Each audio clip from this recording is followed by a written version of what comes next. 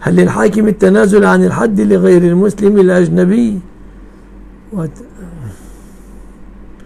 وتسليمه لبلده وفق الاتفاقيات بين الدول إذا كانت بين الدول اتفاقيات بذلك فله ذلك.